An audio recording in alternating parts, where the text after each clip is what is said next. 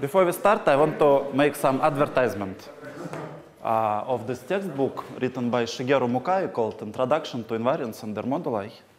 It's a textbook of approximately 12 chapters, and uh, it contains more or less the material of the whole year that will of this course this semester and next semester. It starts in something similar that we started conics and ends with the Verlinde formula that was under Anders will explain in the. But maybe the road is slightly different, but you can always consult and it does not require previous knowledge as far as I understand. It has some exercises, but not much. It's translated to English, so don't worry.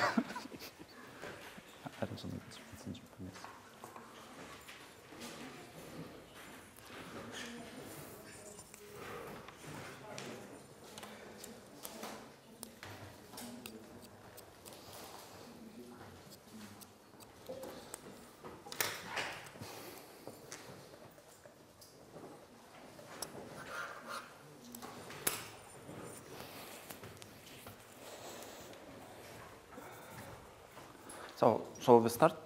No? Can somebody keep track of the time? So, okay. So, uh, previous times we so far had some intuitive notion of dimension, but never discussed it. Uh, what, what is it? So today we'll fill this gap. Uh, also, last time when we tried to define a divisor, when I defined divisor, I made it wrong because we didn't have notion of dimension as I told, there are two notions of divisors, Cartier divisor and Weil divisor. Weil divisor is something that locally is zeros of a function. Uh, no, Cartier divisor is something that locally is zeros of a function. And Weil divisor is something generated by subvarieties of codimension one. So to say it properly, I will need to explain a little bit about dimension. So dimension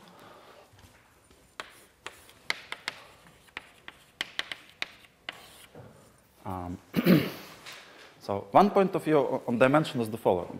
Uh, if your x is uh, uh, irreducible, if x is irreducible, uh, then you can consider k of x that's field of rational functions. Rational functions on your irreducible variety, they form a field. You always can take inverse a field. And this field has finite transcendence degree, so you can define dimension of x as transcendence degree of this field over, over your base field. Say if x is some variety over base field k. If x is not reducible, then rational functions, they do not necessarily form a field, right? If you have, say, union of two lines, then what are rational functions? That's copy of, of two fields. Um, so what does it mean? It means that uh, basically k of x equals to, if this is n less than infinity, then k of x is something like k of, uh, contains k of x1 xn, uh, and this uh, extension is finite. Finite. Uh, so subfield of finite. Subfield of finite. So it means that if you want to get all rational functions, you have some uh, n functions that uh, have no relation between each other, transcendently independent, algebraically independent functions, and maybe some other can be algebraically expressed in terms of, of those. So that's one of the simplest definitions. And this definition is global in its nature, right? So that's a dimension of a space as its whole. There's no. So you mean that n is the largest number such that the kx1 for xn is complete in kx? If you have two finite sets such that uh, you have a subfield that is finite index, then this uh, the n, n's coincide. It's it's a property, so it's well defined. That's the definition and theorem about transcendence degree that it's well defined, right, for every field. so if it is finite, then it's well defined. Mm, so another way you can approach is uh, by the following idea of Krull that if you have some space of dimension n, then inside, so you have a space. Inside the space you have a plane, inside the plane you have a line, inside the line you have a point. So in n-dimensional space you have n minus one dimensional space, inside n minus two, and so on. So you have some kind of ladder of subspaces and can look for what is the maximal length of such a ladder. So it's called Krull di dimension. Krull dimension is maximal uh, n such that there exists z0 inside z1 inside and so on inside zn. So x equals to z0 and each zi is irreducible, not equal to each other, uh, irreducible uh, subvariety.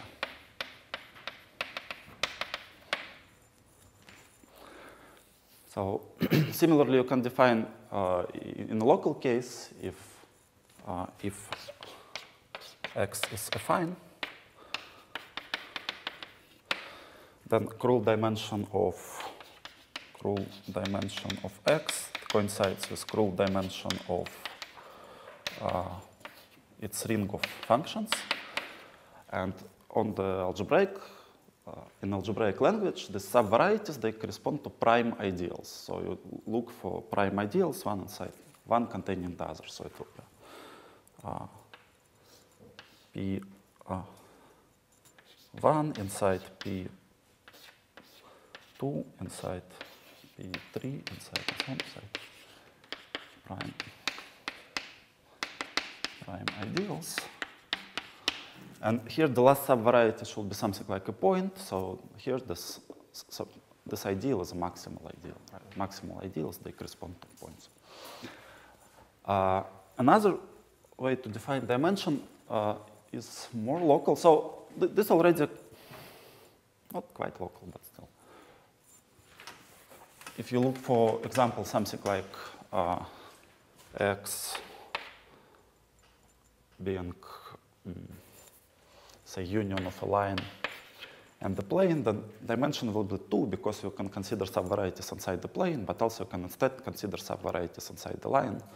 And you see that these ladders, they are not related to each other in some way, so there is some order on them. and here the important idea is that always you can um, make this n minus one dimensional subvariety, this hypersurface.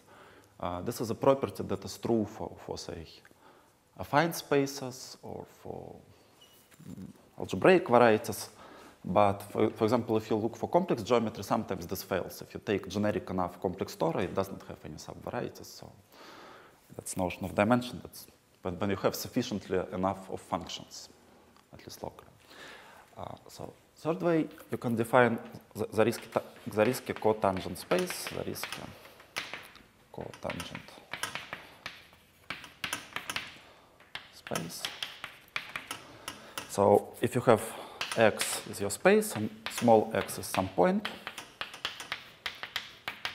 again, if we look for local situation, if x is a affine variety, then uh, points correspond just to maximal ideal, so we have some, uh, that's x is fine. Then the point we have ideal in my ring, all functions that vanish in this particular point, right? So that's an ideal and the, uh, the quotient of the field, if say k is algebraically closed, then it will be just the original field k. So let, us say k algebraically closed, then the quotient is just k. Maximum ideal.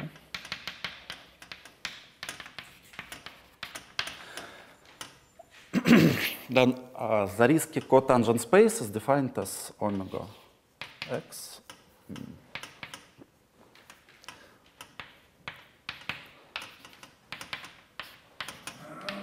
Is the following quotient. So you consider inside your ideal, subideal, the square of your ideal. So what is mx square? fi.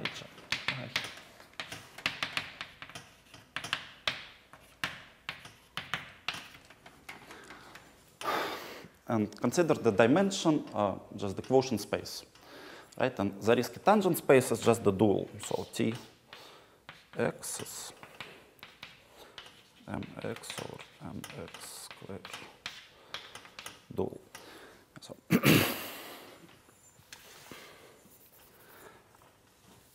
And here the maximum ideal at a point is just all the functions that vanish there. all the functions that vanish at this point. Or maybe example, right? So, so if x is just affine space, a n, and point is 0, 0, 0, then mx, mm, so if k of x is k of x1, xn, let's look for a plane. K of then let me define point by letter P just in this example. Oh, okay, letter x. Then mx is this ideal generated by x and y, and mx square generated by x square, xy, and y square. So if you look for the quotient, then it's again a vector space with basis given by x and y. We look for right all function that does not have constant term, and these are all function that does not have constant term and does not have linear term. So the quotient all the possible linear terms of all the functions that do not have constant term. That's maybe the idea behind this definition. So if I have some function f, then I can say that f of, say, y equals to f of x plus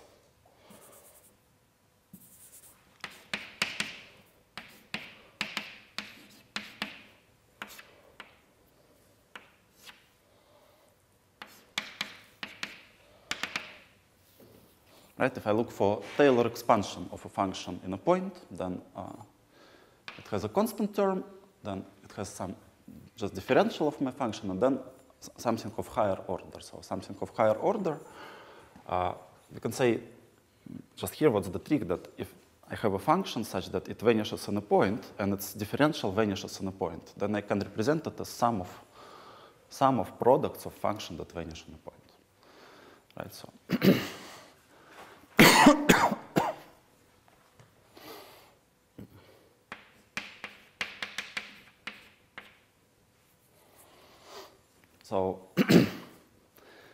we have a natural map from uh, k of x to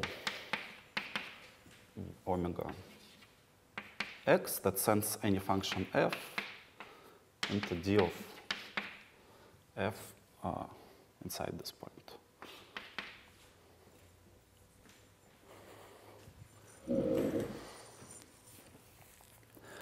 So the cotangent space, it remembers only the value of differential of your function in, in, in a particular point. Now, uh, how to define dimension? Here's a property, lemma.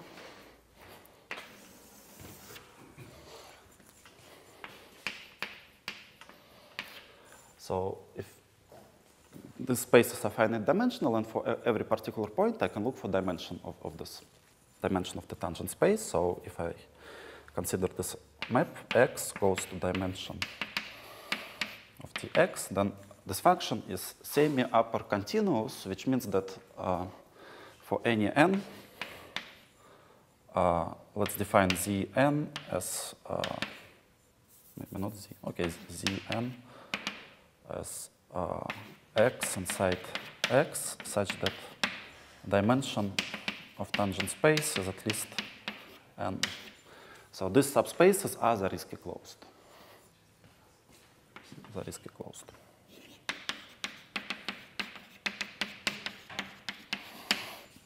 This means that for generic point, like first of all, this function it takes only finite number of values.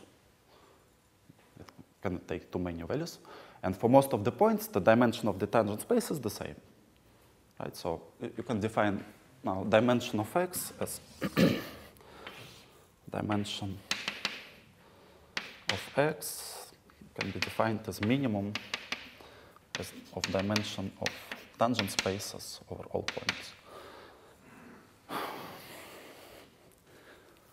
Uh, so this definition, as I told, is local, and you can apply it for any example. Maybe for this example, then dimensional will be one. It will give you this thing. So if x is reducible, then all three definitions give you the same. So that's theorem. So all, all definitions of dimension, they coincide. Put a theorem. If x is irreducible, then uh, Zariski dimension equals to Krull dimension equals to uh, transcendence degree of k of x.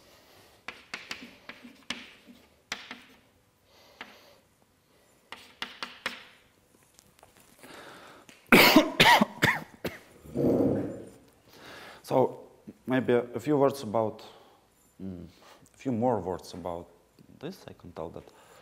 Uh, probably most of you have seen the definition of tangent space of a manifold, right? And uh, sometimes if you look for smooth manifolds, then you can define tangent space as where the velocity of some maybe particle coming by. Or you can say it's, you consider all the curves passing through your point, and then you say that some of the curves, maybe parameterized curves, some of the parameterized curves are identified uh, with some rule like this if they have, if they are tangent to each other.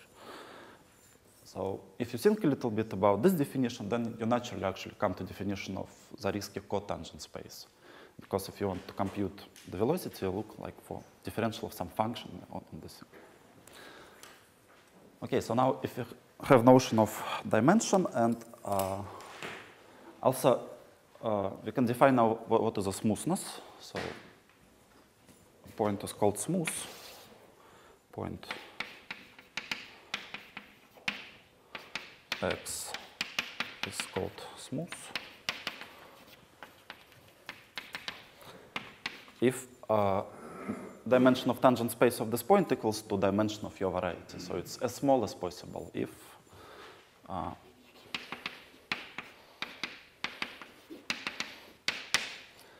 so again, uh, I have this function. It's stratifies my space into a couple of slices, and the biggest slice, the open subset, is a set of all smooth points.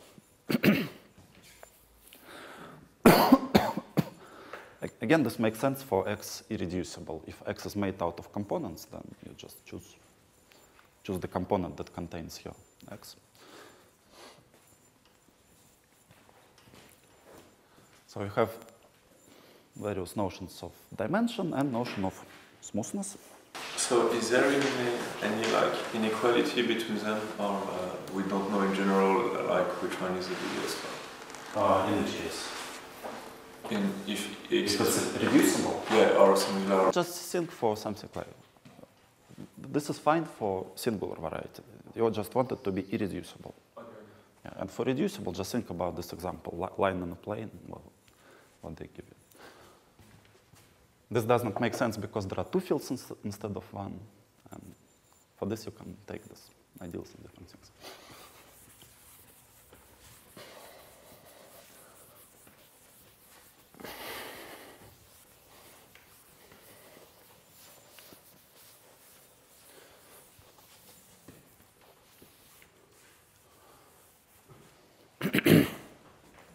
So if x is projective, there's another notion of dimension. If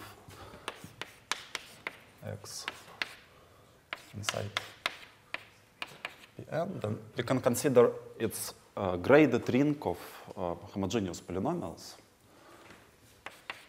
Mm. Let's call it R. X are graded.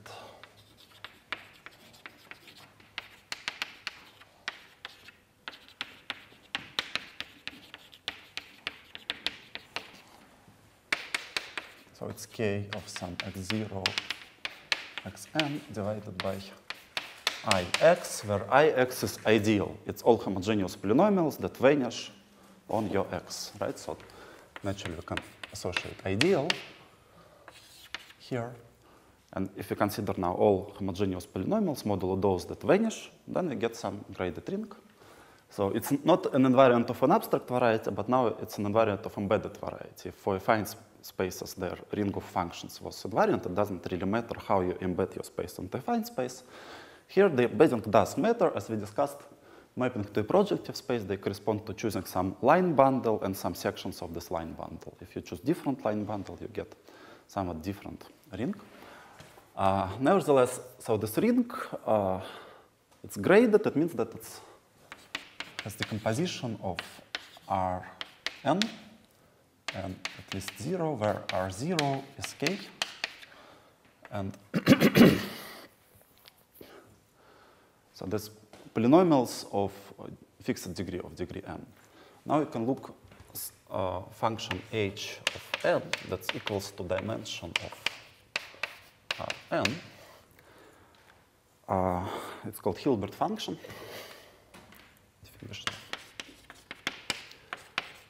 Hilbert function. And there's a theorem due to Hilbert. That says that for uh, there exists some n0 such that for any n uh, and some polynomial p of Um, n polynomial such that h of n equals for p of n for every n at least n0. That this function actually starts to be polynomial starting from some point of view. Value of n is big enough, then the function is just a polynomial. And then you can define dimension in this sense as degree of this polynomial. So dimension of x is degree this h of n. Sometimes by abuse of notation, you use this notion for polynomial instead of, of this function. It starts to be polynomial from some point.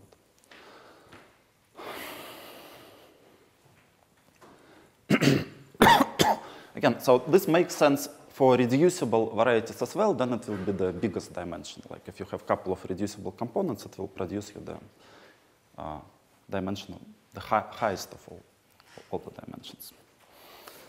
Uh, by the way, you can also define degree of your variety using this function. Degree of x is, can be defined as a constant term next to this thing. So h of n equals to degree of x times n to the dimension of x divided by dimension of x factorial plus and so on. So the degree is dimension, and the constant term up, up to some constant is, is the degree of your variety.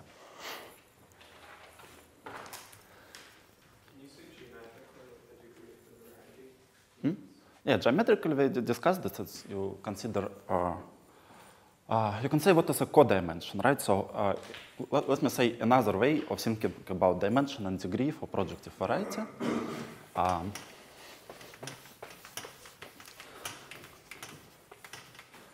So if you have some x inside Pn, and say x is not a collection of points, then if you consider some hyperplane, say h, and then you can take h intersected with x, and usually it's non-empty, right? So if this was, say, five-dimensional variety, then intersection with a hyperplane probably will be four-dimensional variety, at least four, non-empty. Then you can consider subspace of codimension 2, maybe codimension 3, and so on. So it, usually it's non-empty up to some point. So you can define codimension of x as uh, minimal uh, minimum c such that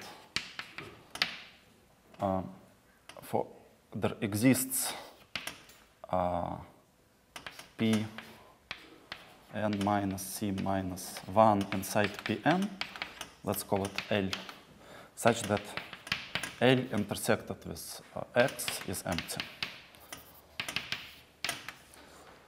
right? So your variety has codimension, say, 5 if there exists some linear subspace of, uh, sorry, P. Yeah. Yeah, so- sorry. So your variety has codimension 5 if uh, there exists some linear P4 that intersection is empty, but with any P5 it already intersects. Then it means that for generic, uh, then for generic uh, L that's isomorphic to PC inside PM, which is linearly embedded. Of course, not as a Veronese surface, but just a linear subspace. Uh, if you look for L intersected with X, it will be a finite collection of points. It will be something zero dimensional with finite,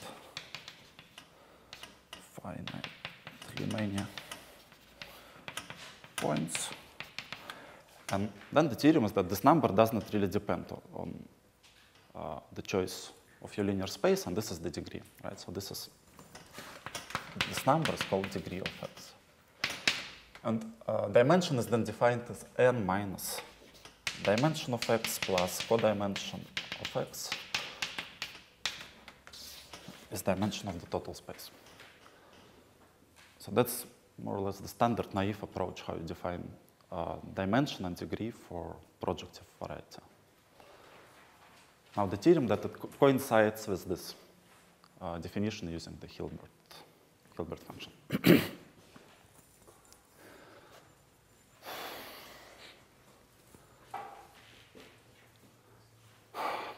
also, Hilbert function is very useful because if you consider varieties with a fixed Hilbert function, so first of all, the Hilbert functions, they take values on some discrete uh, set, right? So this are uh, what we can say about it. So this is h of n abstractly is a polynomial.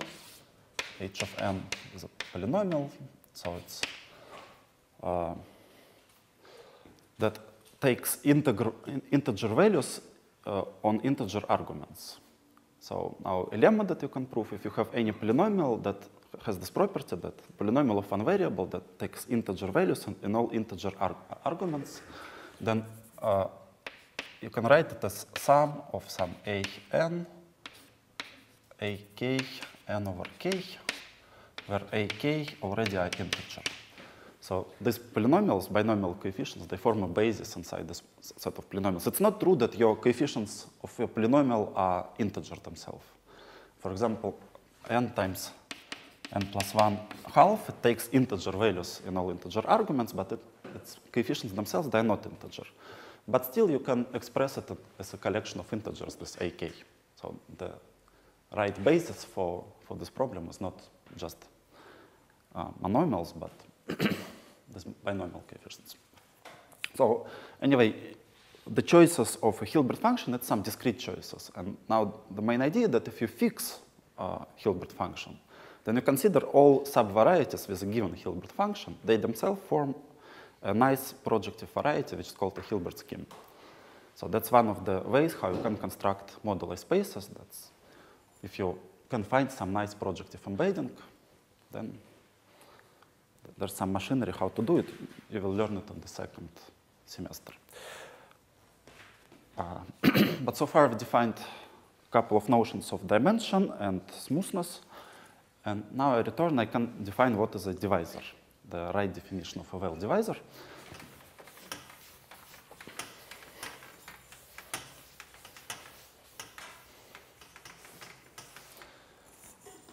Maybe one more notation. If y inside x are two uh, irreducible variety and irreducible subvarieties, irreducible, then uh, we can now define codimension of y inside x as just difference of dimensions, dimension of x minus dimension of y.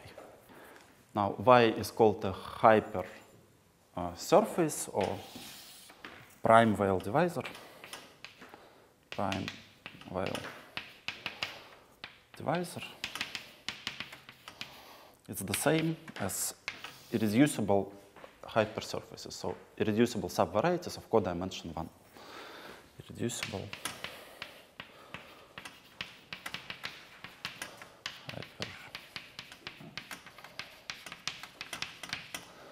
Also, if your variety is reducible, then sometimes you can speak about varieties that have equal dimension or not equal dimension. Union of line and plane is something not equidimensional.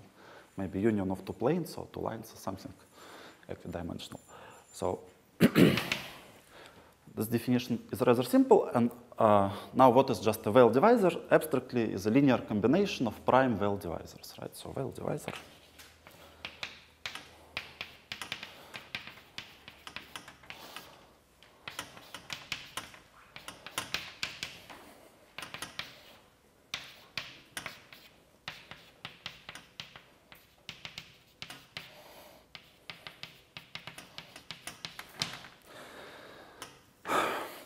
We discussed that if we have uh, some function, maybe regular function or rational function or section of some line bundle, then to this guy we can associate a Weil divisor.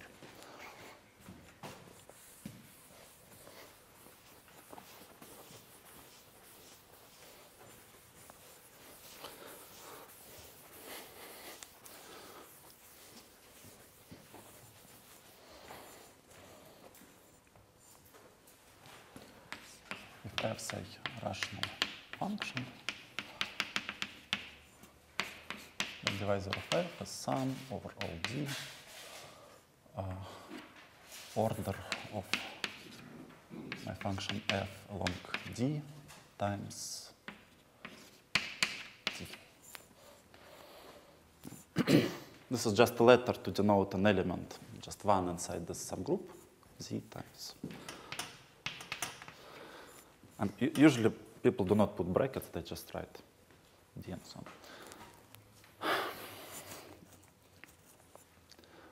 on. Uh, so now Cartier divisor is something that locally look, looks like this. So it means it's some Weil divisor that for every point there exists some neighborhood, neighborhood and the rational function such that your divisor. So, um, so divisor divisor It's called Cartier.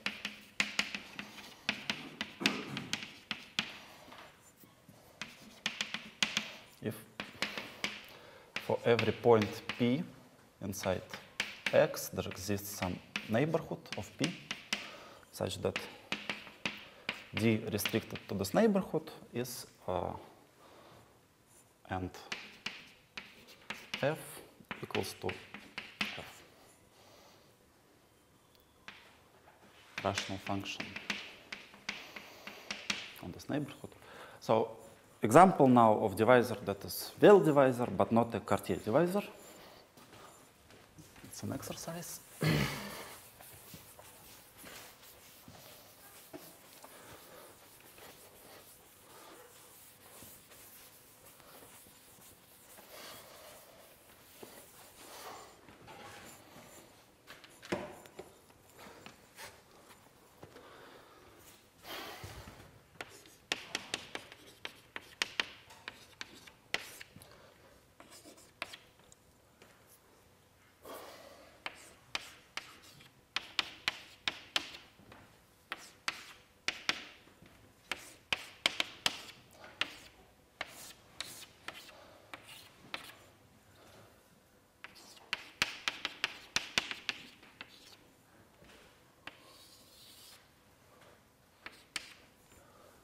That's maybe first example. If you consider the quadratic cone and take a line on this quadratic cone, then this is certainly a subvariety of codimension 1, this you can check.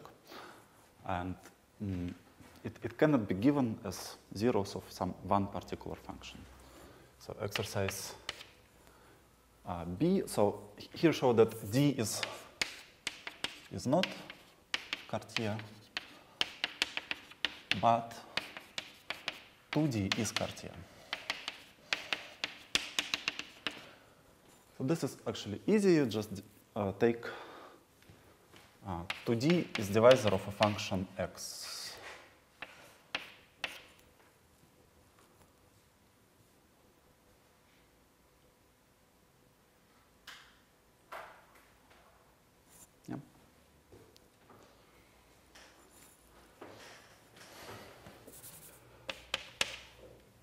can consider three-dimensional example, xy equals to zw. So this is in A3 and this is in A4.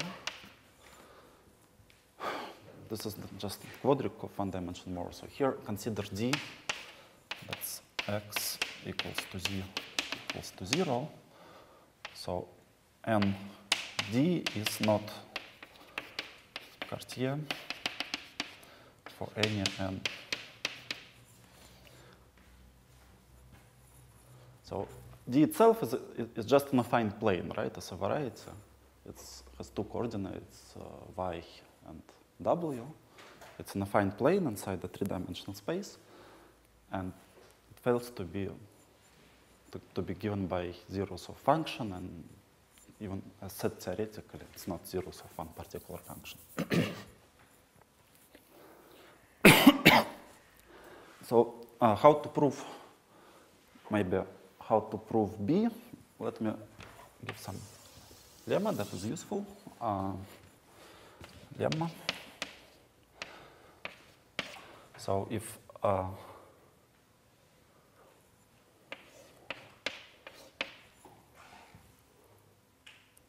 if D is Cartier divisor,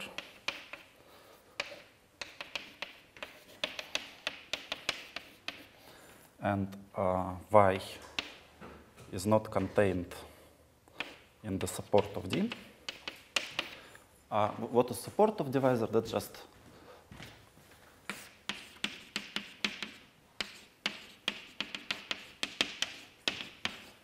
union of all divisors that has non-zero coefficient. So if we have infinitely many divisors, but uh, the sum is, is, finite. So only finitely many of them have non-zero coefficients. We just take union of them. Union of di such that ai is non-zero. so support of divisor is a subvariety of codimensional one, not necessarily reducible, but equidimensional.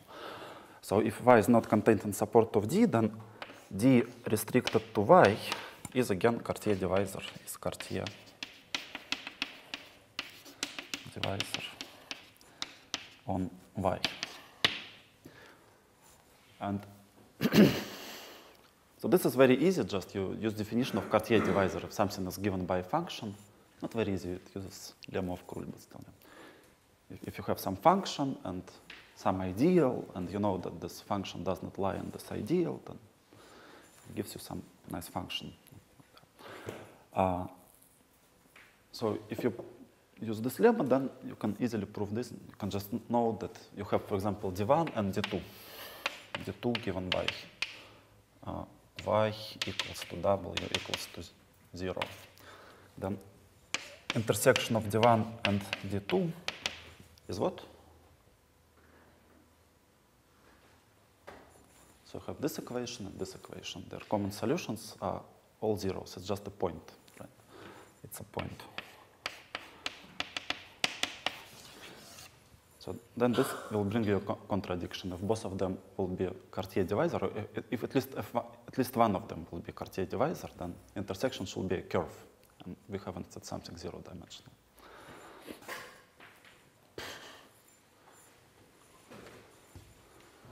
Uh, on the other hand, there are some good news. If you consider quadrics of higher rank, then uh, if you take sum of xi squared equals to 0 in i from 1 to n, and n is at least 5, then this is, again, unique factorization domain. So they're all divisors, uh, divisors of functions.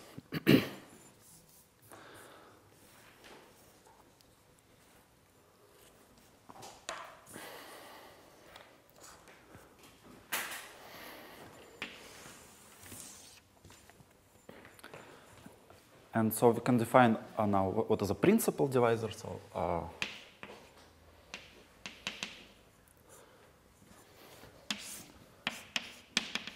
So we have a very big group of divisors. It's some big free abelian group. Inside it, we have subgroup of Cartier divisors.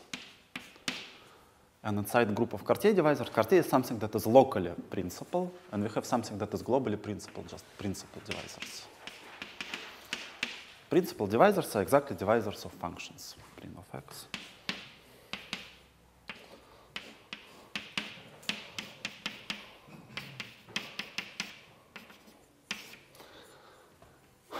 Now we can take the quotient. So if you take all divisors by principal divisors, that's what called ideal class group, ideal divisor class group, or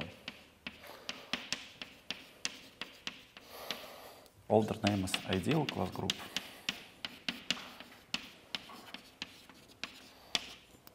And if we take all Cartier divisors by all principal divisors, then we also get a group, and now the statement that this is exactly the group of all line bundles. So it's usually called Picard group problem. So let me rephrase it somewhere here.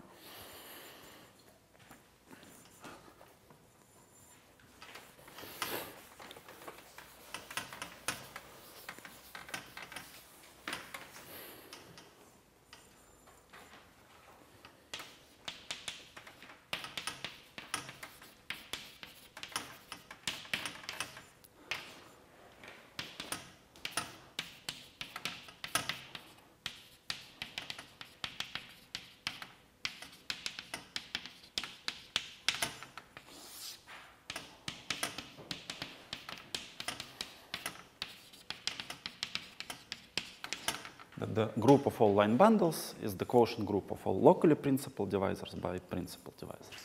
So how we go from left to right? If you had L, then consider some S uh, meromorphic section of L. S meromorphic, how, how, rational section, rational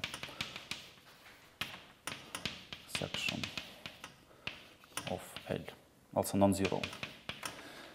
And then take its divisor. So since L was locally trivial bundle, so its rational section is locally just rational function, right? And then its zeros locally is a principal divisor, and this way we get some locally principal divisor. Now, if you take some different uh, rational section, maybe if, if you had S1 and S2, uh, maybe you can check that this gives us some homomorphism of groups. If, if S was S1 was section of uh, M of L, and L1 and S2 was rational section of some other bundle, then we can take their tensor product, S1 tensor S2, it will give us some uh, rational section of their tensor product. And divisor of a tensor product is sum of divisors. This again we can easily check locally. Just locally both, bo- both bundles are trivial. We have just two functions and their product, right? And uh, quite clearly that if, if, if we put here a product, then divisor of a product is sum of divisor because order of product is sum of orders. Now, uh, we- can also take the dual. So 1 over 1 over S2 now can be considered as a rational section of a dual bundle. And then S1 over S2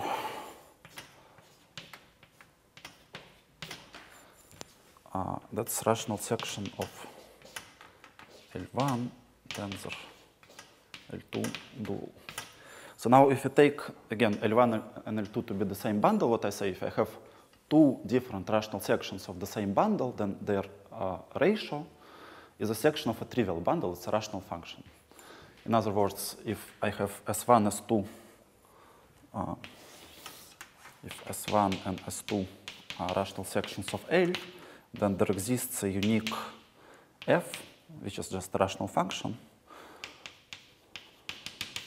such that S1 equals to uh, f times S2. And this means that divisor of S1 equals divisor of f plus divisor of S2. So it means that uh, if I choose different sections, I can get different divisors, but their classes modulo principal divisors are the same. Right? So I have a well-defined map from line bundles to divisors modulo principal divisors. And the image lies, it's a locally principal. Mm, Now, to define an inverse map, it might be useful maybe to introduce notion of a sheaf. Uh, wh- wh- what's this time? A little bit past 10. little bit past. Okay, then we'll make a break and then I'll speak a little bit about sheaves and how to do it.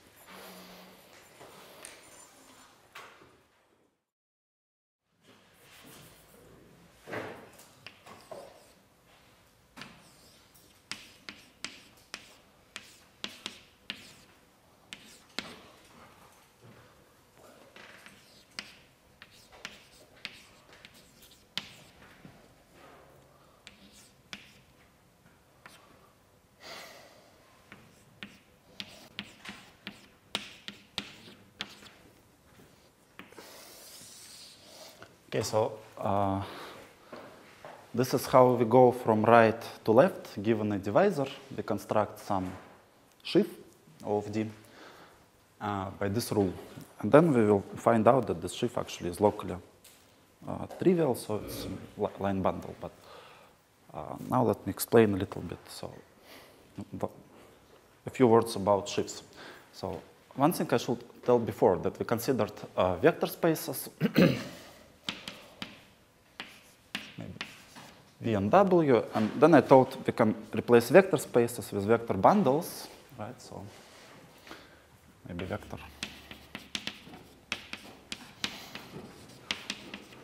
Say E and F. And then I told that many things that you can do with vector spaces, you can equally well do with vector bundles, right? Um, so you can take sum, product, maybe homomorphisms. Uh, but for vector spaces, we also had some morphism between them. So if phi from V to W was a homomorphism of vector spaces, uh, we want to, do, to have something similar for vector bundles, maybe some phi from E to F. So what, what we can think? We can think vector bundles over some base is a family of vector spaces, right? So for every point on a base, we have a vector space over this point. Now, uh, homomorphism is something like a family of homomorphism, like family of matrices essentially, of linear things. So for any, uh, if I have x, small x inside big X, then I have phi x from ex to, right? If I have a su- such homomorphism, it gives me particular many, many uh, a family of linear maps parameterized by my base. And for vector spaces, I can consider uh, kernel and co-kernel. If I have a map, right, so then I have kernel of phi inside V and co-kernel of phi from W. Right, so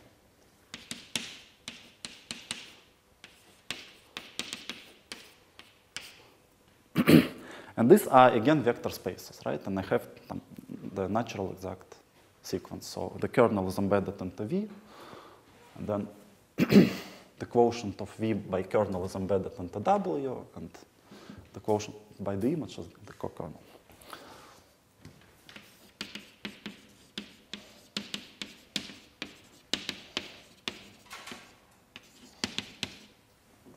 So this is exact sequence. And some similar things we can do in a thing called abelian categories, that when we have kernels and co-kernels. And now if we have some uh, natural map, for example, what kind of maps we considered? We considered, uh, in particular, example where E is trivial bundle, and then phi from O to F is essentially just a section of my bundle F, right? So these are sections. Sections of F. And this was a nice vector space that we studied, and it was very useful. Uh, but now the problem that uh,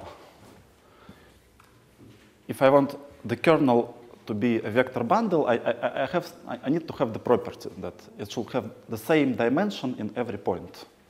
So kernel of phi is usually not a vector bundle, not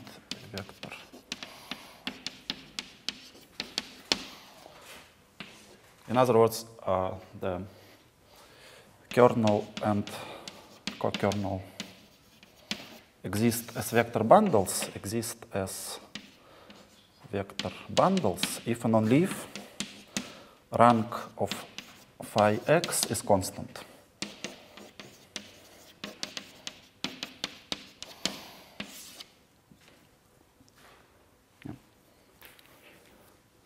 So I want rank to be the same, otherwise if it jumps, then there's,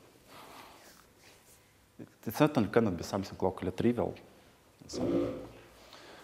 And uh, linear maps such that their rank is constant, they, they, do not form a vector space, right? So we have the whole vector space of linear maps, and such rank is constant. We discussed it some open strata in some algebraic variety. So it's very natural for those maps to degenerate somewhere, right? So if, if you have in a family, then maybe it's constant almost everywhere, but on some Zariski closed subset it might jump. It's a natural thing. So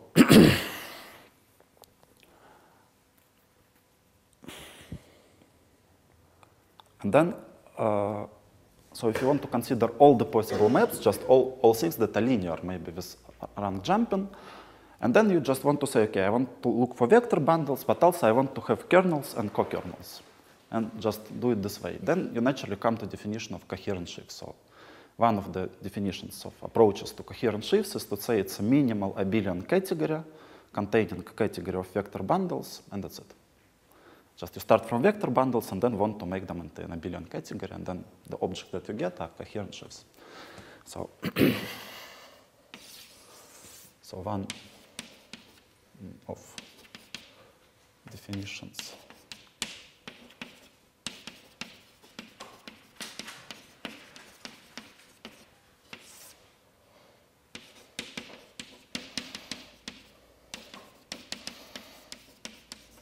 So it's an abelian category spanned by vector bundles.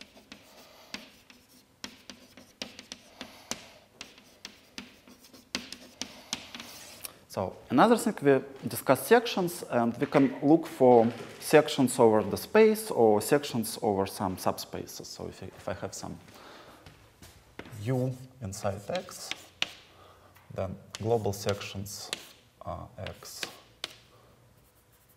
uh, E, I can restrict it to, to U. U. Right? If I have some global section over some bigger space, I can just restrict it to smaller space. Uh, and so what I can do, I can replace my vector bundle with just a collection of all this data, of, of all those vector spaces for every u. We have a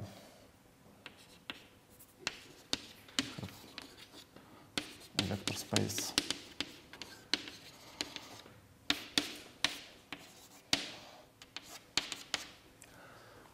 And then for uh, what properties this vector spaces satisfy? Let's, let's say if I have U1 inside U2, then I have restriction map, UI inside UJ maybe.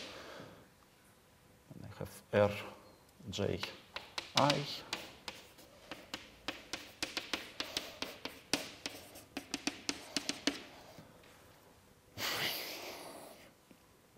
Now, if I have U uh, I and maybe U J, and I have their intersection, so I have global sections uh, here. And I have two restriction maps, global sections of UI, uh, E plus global sections of U. E. So maybe if I had some uh, element here, F, and here some G. Then they go to R from restriction from ui to ui intersected with uj of f minus restriction from uj to ui intersected with uj of g. And, and what I can, can I say? That if the image is zero, what does it mean? That I have some section on ui and some section on uj such that they coincide on the intersection. That what I can do, I can glue them together in a section on the union. So the kernel of this map is section on the union, ui union with uj.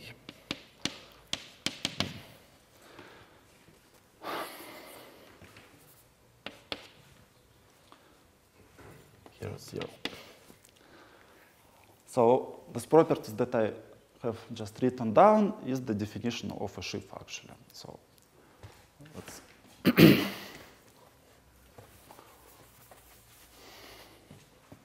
let's say that de- define f uh, so that x be a topological space then a sheaf F is a collection is a collection of uh, such spaces. So we can define different sheaves, sheaf of sets, maybe sheaf of abelian groups, sheaf of vector spaces, sheaf of whatever you like models. So maybe the simplest, what, what is a of, let's say, abelian groups or sheaf of, let's say, of abelian groups. Then for every open subset, we want to associate some abelian group, which is called global sections of a sheaf or sections of a sheaf over this open subset. Uh, such that for every inclusion of one subset inside the other, uh, we have the restriction map, and so that's part of the data. So that's data. Uh, and that's the main property. Uh, there's of course one more property. So if I have ui inside uj inside uk, first I can restrict from bigger to the medium, then from medium to the smaller, or I can just restrict from the bigger to the smaller, and it's the same, right? So r uh, k j composed with r j i equals to r k i. That's one property. And this is the second property, the most important, so-called locality.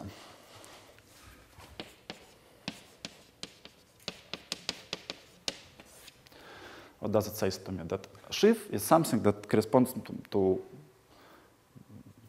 mathematical understanding of what is a local data, right? The sections of the sheaf, they are local in the sense that if you have any consistent collection of, of local data that are consistent on their intersections, then you can glue them into, in a unique way to, to some global thing. So if you have, say, sections over two open subsets that are coincide on the intersection, then they give you a unique section on the, on the union. Similarly, you can have more subsets, it will be the same. So if you have many, many subsets and se sections there, you, you can derive it already from this, from this property.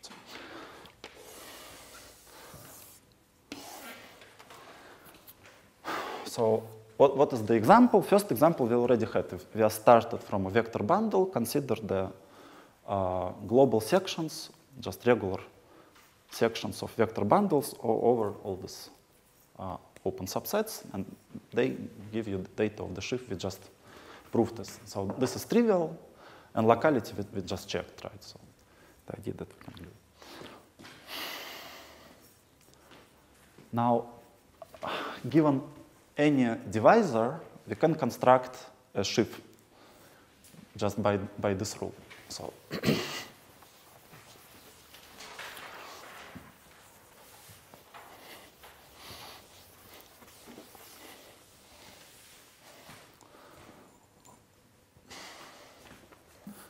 Uh, I need to explain what does it mean that some divisor is non-negative, right? So it's just definition. Divisor D sum of AI di said to be effective. Is effective. Or we can write that D is non-zero if AI is non-negative for any i. It just means all its coefficients are non-zero. So what is written here, that for any, so if my D is sum AI di, then here I consider functions f such that for any i, order of f along di is not less than something. That valuation is not less than something. Now, the properties of the valuations show me that this thing is a vector space, right? If I uh, valuation, okay, maybe let me write vi. So v of f plus g, it's not less than minimum of v of f and v of g. Seriously, in the, in the first line, the parentheses are for f and not for, for d. For f, d is fixed. No, uh, in, in, in, in, your, in your writing, Ah, the, the first line, here. Not right. to, to the right. Yeah, here. Yeah. So it's f. Ah, yeah, yes, thank you. Yeah. That's right. yeah, so this property means, ju- means just the following, that for my function, I consider functions that have uh, prescribed value on- of not, not too, too high pole along my divisors, or maybe should have zero of some order, depending whether a is positive or negative. If some coefficient is negative, it means that my divisor should have uh, some zeros, should vanish along the things. Uh, my function sh- should vanish, and if it's positive, then it's the other way around. It, it might, might have some pole, but of not, not too high order. So exercise maybe check that this is always a sheaf exercise.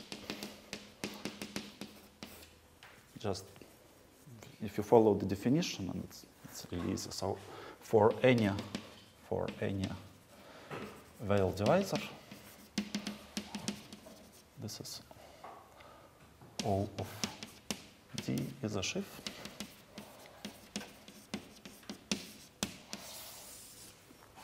But uh, if your divisor is Weil is and not Cartier, then this sheaf is not obtained from a line bundle. Actually, you get a, something that is locally trivial if and only if your divisor is Cartier divisor. It's quite clear if you if you have a Cartier divisor, then again locally you can think of it as just a divisor of some function. So you just uh, your sections will be isomorphic to the space of all regular functions. It's just functions multiplied by regular functions multiplied by some fixed function that you have there. okay, so uh, maybe some other examples and non-examples of sheaves since we introduced them. Um, so that's one of the algebraic approaches to, to line bundles, right? So to, to a line bundle, something that lives over your space, you can associate some divisors, subvarieties inside your space, up to some uh, condition, up to this equivalence relation. Uh, so there's some generalization of this equivalence relation that works for subvarieties of uh, subvarieties of the higher codimension. Maybe I'll just uh, write a definition because it will be useful later for the exercises when we compute them. So we can divide a cycle and a k cycle, or maybe algebraic k cycle, algebraic k cycle, it's usually denoted as zk, is a linear combination of all subvarieties that have dimension k. Sum of some a, i, uh, let's say vi, where vi are irreducible, irreducible subvarieties of dimension k. Sometimes you write k on top and then replace dimension with codimension. It's similar to homology and cohomology. So now, if you have two k cycles, again, it's finite sum, similar to divisor. So divisor is n minus 1 cycle, where n is dimension of your variety. Uh, so two k cycles, say z and z prime are called rationally equivalent, called rational equivalent. If uh, there exists some k plus 1 cycle w, so these were cycles on x, on P1 times x, such that uh, w restricted to 0 times x is z, and w restricted to infinity times x is z prime.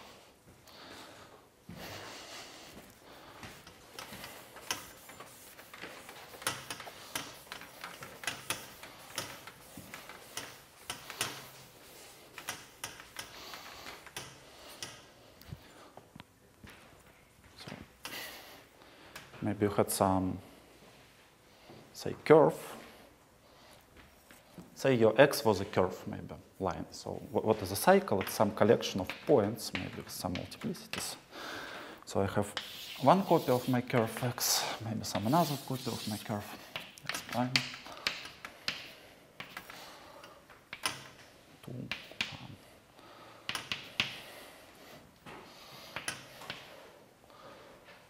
three minus two.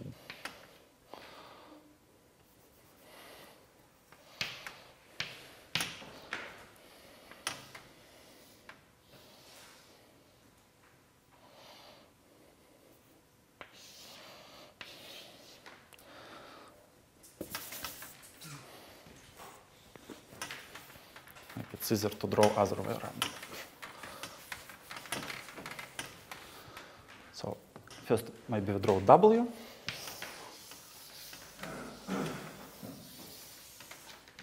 So this is W, and then just look for some of its restrictions. So it's zero, and maybe here infinity.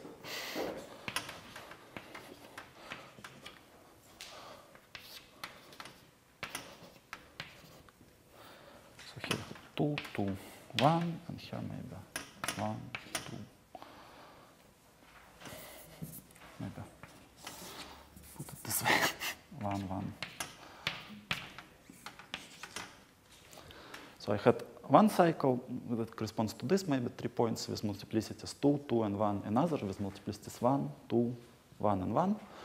And I see that on the product, my curve times projective line, I have some cycle one dimension more such that the restrictions are those two. I have some curve here that restricts to this.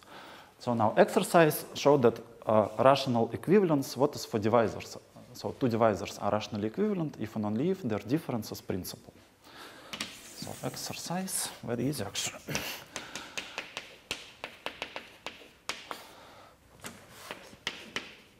two divisors, d1 and d2 are rationally equivalent if non-leaf if d1 minus d2 is a divisor of a function.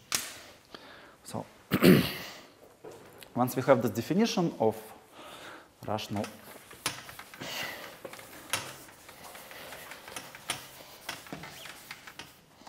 equivalence, we can define Chow groups. Chow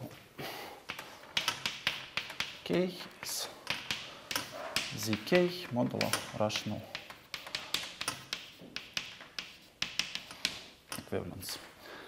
So this is some algebraic analog of cohomology in, in a sense, right? When you think about homology, you look for cycles up to some equivalence relation. So here you can look for algebraic cycles up to some natural equivalence relation, and there's even a map from Chow groups to homologies. Just to every cycle, you can associate its usual, say, Betti homology, and the, it's if two cycles are rationally equivalent, then in particular they are homologous because you can consider the them.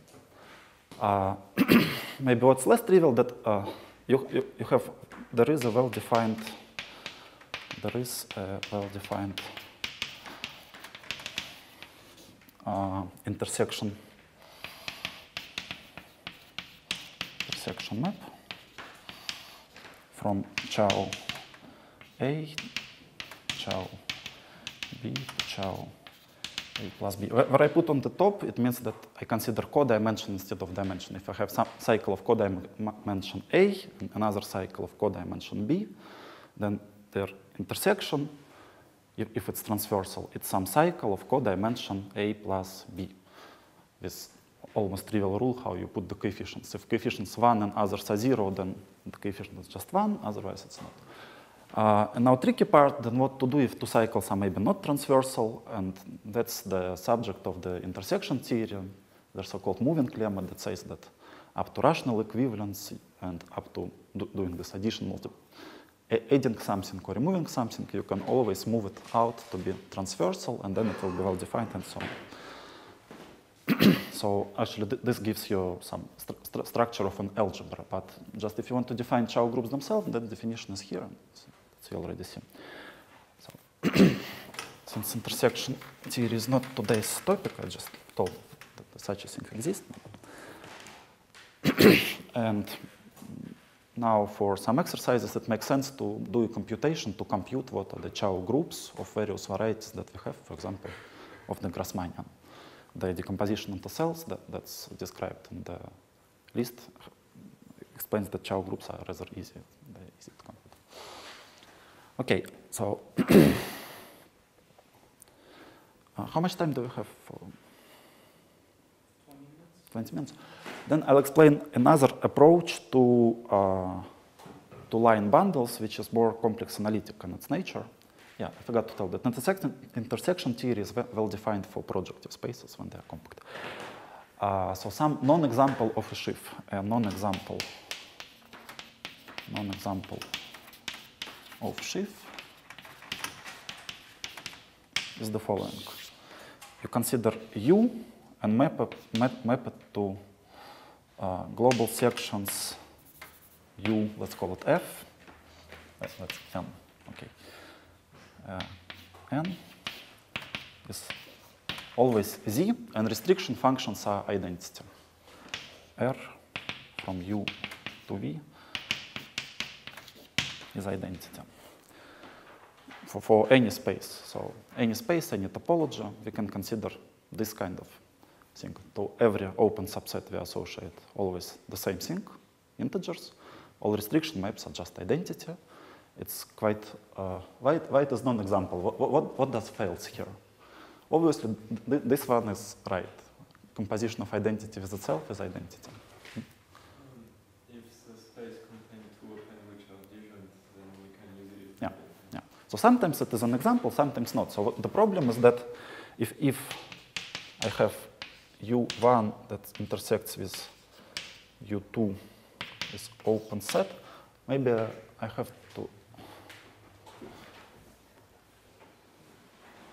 to add it somewhere here, that global sections of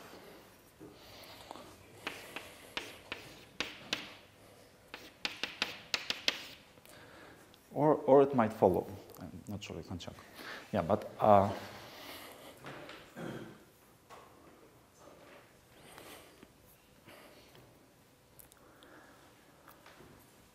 so if I have two non-intersecting non sets, then they don't interact with each other. There are no uh, con consistency conditions. So I can have some, some number here and some number here. And uh, on the intersection, it does not say me anything. So they can be two different numbers. So what does it mean that uh, the right definition will be, so how to make from this thing a sheaf. So this was non-example, now example. Uh, global sections U, Z is uh, maps uh, locally locally constant maps homomorphism to Z. So what we did is an example of so-called sheafification. We can start from something that do not satisfy the locality condition and then uh, extend it to make it satisfy. okay, so this is called uh, constant sheaf. That's uh, a definition for any space and any group. You can consider constant sheaf with uh, on those space.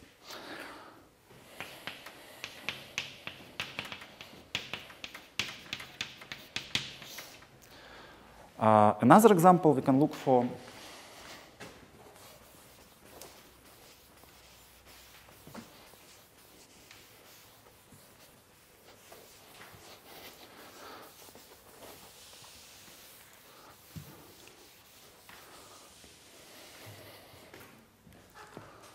Mm.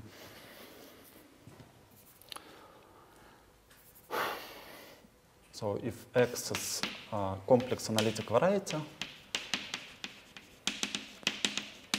then we have a sheaf of holomorphic function that's already not on Zariski topology, but on the, on the usual Euclidean topology.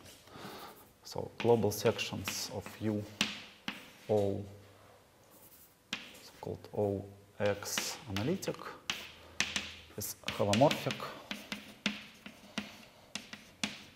functions on uh, U. So this is sheaf of vector spaces, as you can see, right? And, uh, also, it's a sheaf of the rings because if you multiply two holomorphic functions, it's again holomorphic, so sheaf of vector spaces and rings. Just sheaf on the usual uh, analytic topology. Another thing we can do is look for the sheaf of the groups. Take U, O, X, analytic star.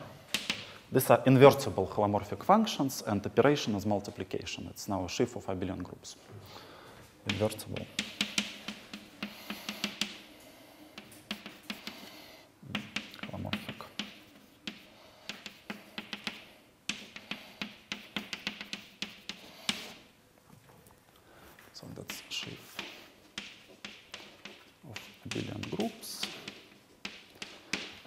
And definition of a sheaf, but uh, as always, we're interested not only in objects, but in the morphism between those objects. So what is a morphism between two sheaves? Uh, given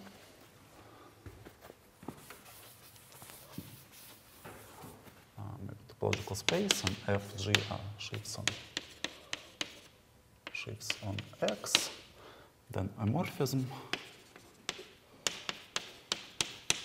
phi from F to G, as you can guess, is just for every global section, we should have some morphism of those spaces. So phi u from here to there.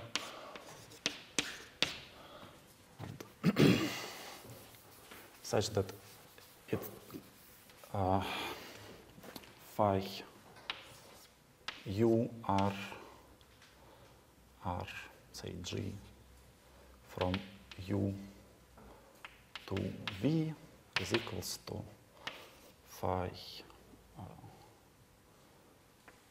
v r, r f from u. To v, which means that um, maybe I'll just write here.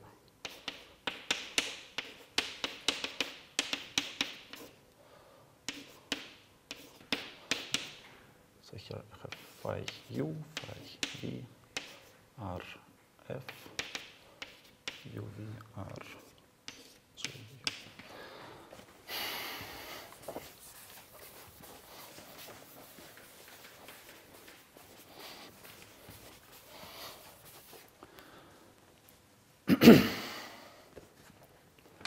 And as I told that, uh, say, sheaves of abelian groups is something that already form an abelian category.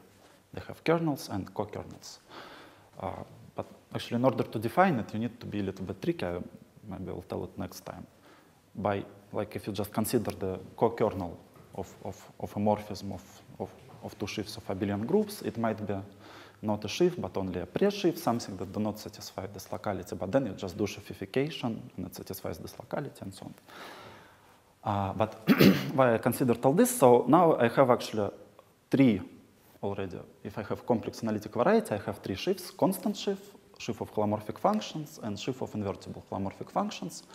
And I have two natural homomorphisms.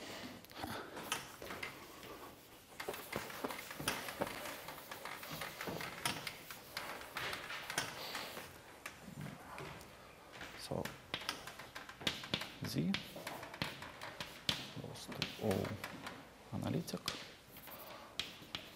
goes to O analytic, star goes to Z. So what is the map from here to here? If I have a constant function, it's a holomorphic function. Like one is a very nice holomorphic function, so just one, one goes to one, essentially. Just I consider the function as holomorphic function. If it's constant, it's, it's fine.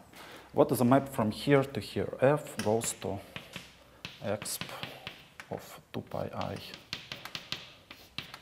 f.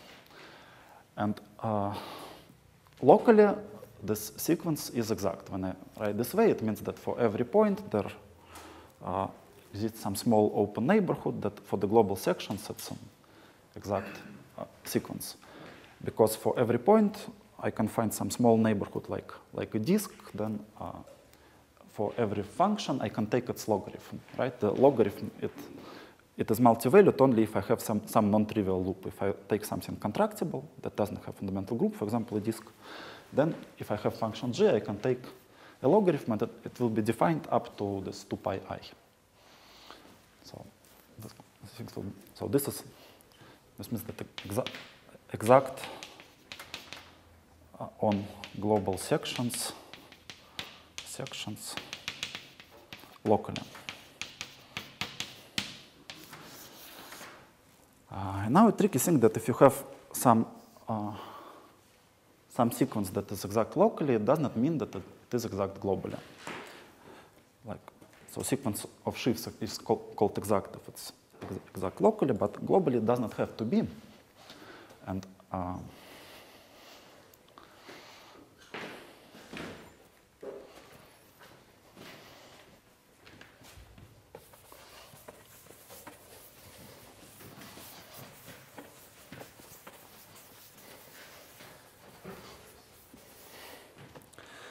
So what, what is always true that uh, if f is f to g is injection, then on global sections it also gives you an injection. So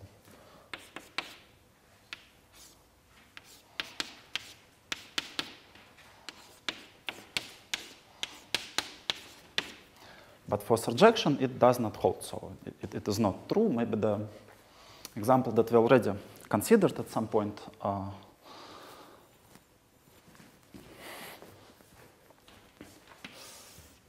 uh, we had the following exact sequence of sheaves on projective line on P1. We had 0, all of minus 1, O 2, O of 1, 0. Right? We can consider P1 as a Grassmannian of one-dimensional, say, subspaces in two-dimensional space. And then this was universal subbundle and tautological subbundle, tautological quotient bundle, they are dual to each other. And inside we had the trivial bundle, just if this was P of V, this was just O tensor V.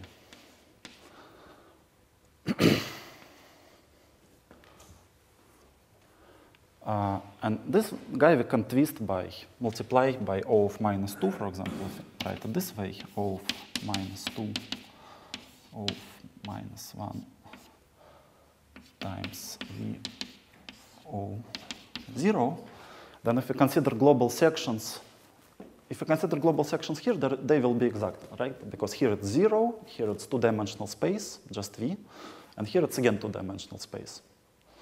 Uh, but if you look here, then global sections of O of minus 2 is 0, global sections of O of minus 1 also 0, and global sections of O is one-dimensional space. So we have 0, 0, then one-dimensional space. So we see it's not exact, right? We have uh, some section here. This map is epimorphic, but here we have sections, here we don't have sections. So that's the beginning of so-called uh, story of homological algebra, that your functor, it's left exact, but not right exact, and then uh, it has some derived functor, basically. What, what, what is true that the next term is so-called first cohomology of your sheaf. Uh, and why I wrote this thing that when we, we had this description of line bundles by definition, we told this is something locally trivial, we choose trivialization functions, uh, and then after we chosen trivialization functions, we have the transition maps, and line bundle is given as a collection of transition maps up to retrivializations, right? Uh, and then if you just think a little bit about this definition, uh, then it will, you will see that the line bundle, uh, they, the space of all line bundles, they fit in the following diagram. So we have, let's look for the global sections here first. Mm.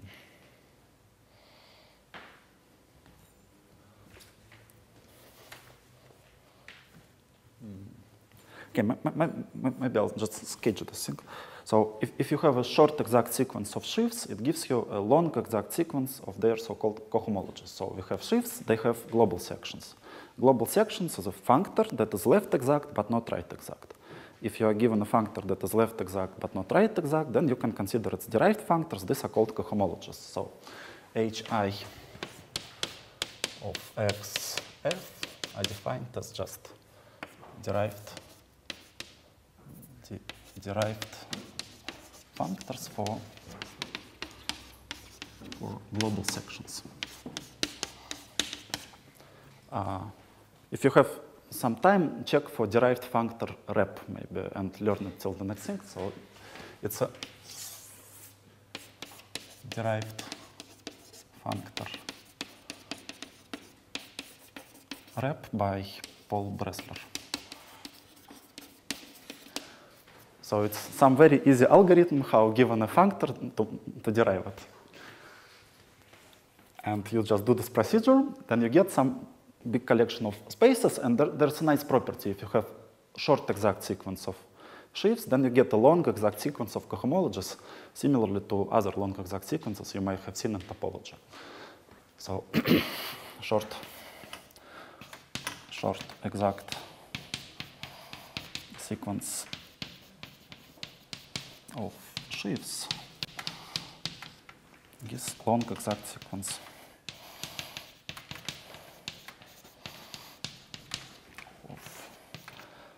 cohomology.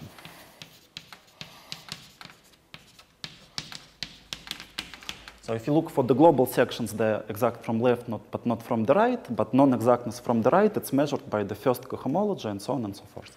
So here, you, you get the sequence like that. So zero global sections x, z global sections x, O. That's something boring, but then it goes to h1x, z, h1x, O, h1 of x, star.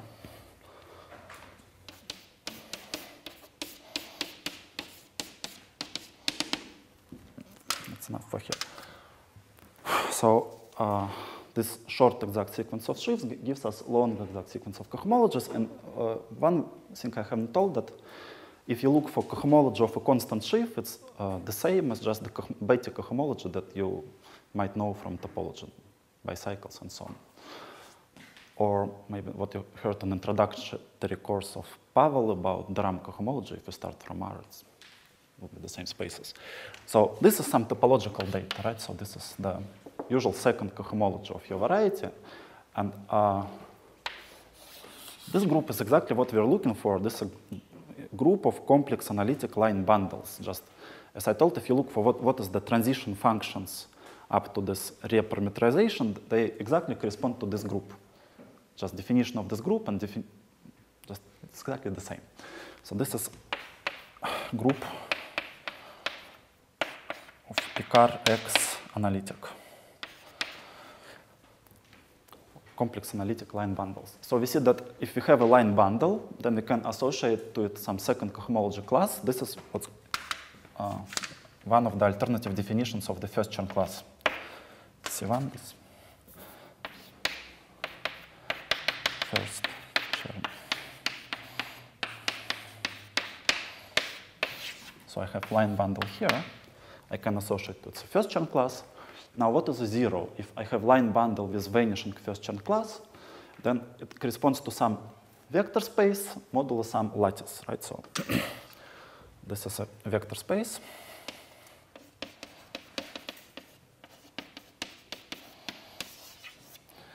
And this is lattice inside this vector space. Maybe C to the M, this is lattice z to the power 2n. If you start from, say, Kähler variety, say, say you started from complex projective variety, but think about it as complex analytic, then uh, we see that the group of line bundles, it has the following structure. First of all, it has some image inside second cohomology that's something discrete, uh, which basically corresponds to its topological type. Now, if it's topologically trivial, then uh, the group of all topologically trivial line bundles, it looks like a vector space modulo a lattice, right? So that's Pic zero somehow. Pic zero of X analytic. Cn modulo Z to the maybe some other number m, but if, say if, if it's projective variety, then it's this n is twice this n. It's property of uh, Hodge theory that your forms, they break into holomorphic and anti-holomorphic, and the topological thing as first Betti number, it's always even, as we discussed, and it breaks into two copies of parts. So uh, just in this complex analytic world, the construction of, what, what does it suggest us? That uh, if you consider topologically trivial line bundles, then they, they themselves form something like a complex analytic variety. Just on the CN, you have natural analytic topology, and on the quotient, you also have natural topology.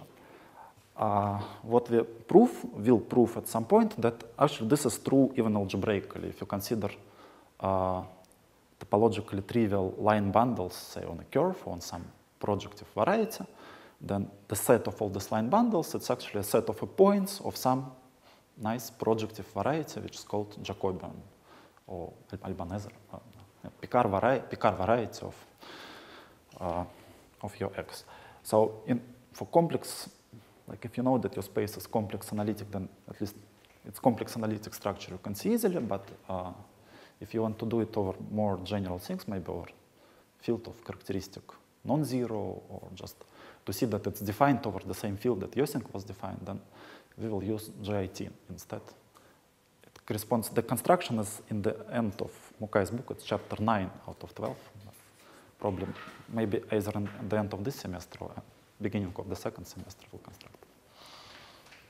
Okay, so that, that, that was some